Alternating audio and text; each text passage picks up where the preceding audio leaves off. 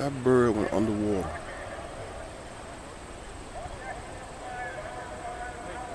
There you go.